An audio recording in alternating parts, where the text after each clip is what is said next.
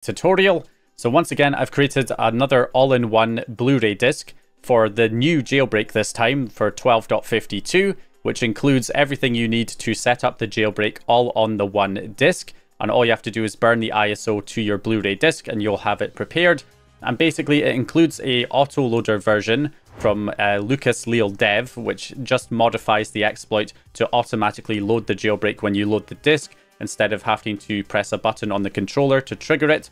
So that's been implemented in this version. It also has, of course, the main utility homebrew applications included on the disk that can be installed directly, and also the cheats, patches, and plugins, as well as payloads, are all on the disk, meaning that you do not need an internet connection to be able to install everything and get the jailbreak fully set up, all from the one disk. So I'm going to show you how you can set it up here in this video. So as usual, if you're setting this up for the first time, you need to head into your notification section and then just make sure you don't have a system software update that's waiting to be installed. If you do, make sure you press the options button and delete that system update file. Then go into your settings menu and scroll down to the system settings and go to automatic downloads and make sure you uncheck all of the boxes in here. And then you can go to your network settings and also disconnect from the internet, as we should not be needing an internet connection because we can install everything from the one disk, and it also stops updates.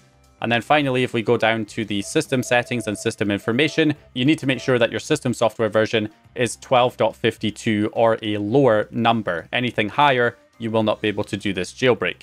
So then all you have to do is burn the ISO to the Blu-ray disc, which you can do using a software called ImgBurn, or you can use the default burner within Windows, but I recommend ImgBurn. It tends to be more reliable, gives you more options, so I'm going to go ahead and open up ImgBurn and select the option to write the image file to the disk.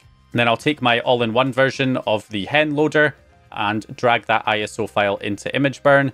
You can also click this button here to browse for it manually uh, if you cannot drag and drop it into ImgBurn. Then just insert your blank Blu-ray disc, either a BD-R or BD-RE disc. I prefer verbatim discs because they tend to be higher quality and I don't have any issues with them. But if you are having issues with different discs, you can adjust the write speed. Sometimes writing at a different speed can improve things.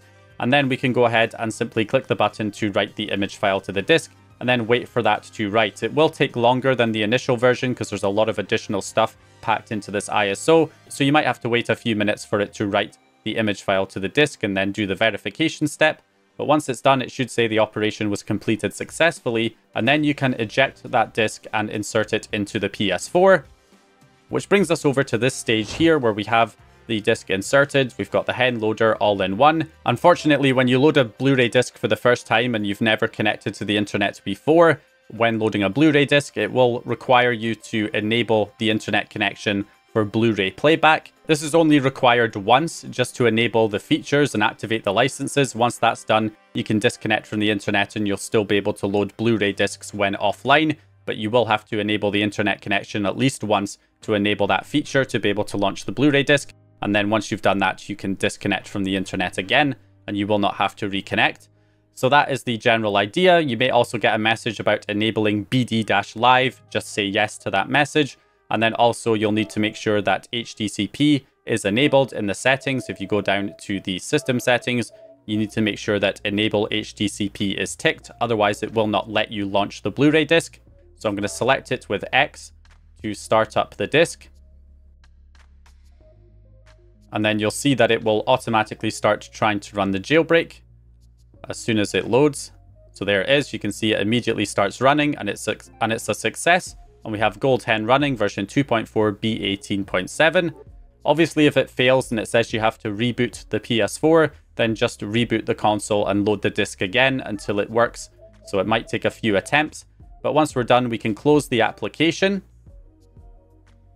And once it's closed, if we head into the GoldHEN settings, you want to scroll down to the settings menu and enable the options for BD app auto kill, which means the next time you load the disk to run the jailbreak, it will automatically close the disk player for you once GoldHEN is loaded, which makes it a lot quicker to get up and running with the jailbreak.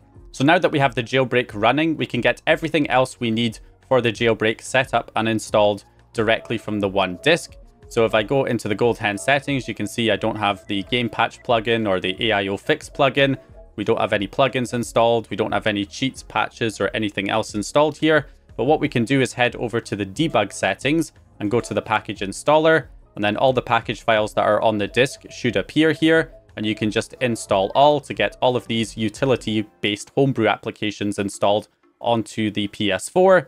It will take a little bit longer to install these than it normally would from a USB drive because obviously the read and write speeds on the disk are slower. But these homebrew applications are pretty small, so it shouldn't take too long to install all of these.